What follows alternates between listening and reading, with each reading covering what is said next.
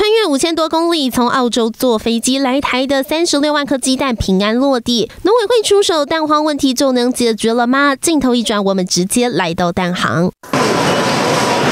店门刚开就筑起长长人龙，但怎么好像全都扑了个空？贵啊，当然贵啊，很夸张啊，没办法吧？这几次都没有，然后年前年前也是这样，年后还是一样啊。蛋荒脑的熊蛋价格到底涨多少呢？其实以前一斤白蛋的价格大概落在三四十块钱，但是我们现在直接来看看这个板子，白蛋黄蛋直接挂上了缺货，就连白壳红心一斤的零售也来到了七十块钱，就连老板也说卖一斤就是在赔一斤。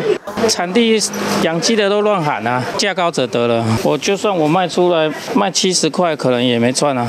究竟为什么闹蛋荒？农委会归咎于四大原因，除了近期气候低温、禽流感疫情大爆发，寡产的育龄老母鸡又偏多，再加上农历年节蛋鸡场调节生产，种种原因之下，鸡蛋产量供不应求，甚至远从澳洲买蛋进口。我们会积极的透过加工或者是专案的短期进口，来补足这一个消费者所需。如果进口的话，那价格会更贵，那这个价差呢，农委会这一边来会来吸收。者预估，恐怕要到清明节后蛋价才有机会稳定。但蛋荒何时能缓解？农委会恐怕也没有答案。欢迎新闻客观成张雅竹台北报道，请订阅、按赞、分享环宇新闻 YouTube 频道，并且开启小铃铛，随时掌握全球时事与最新趋势。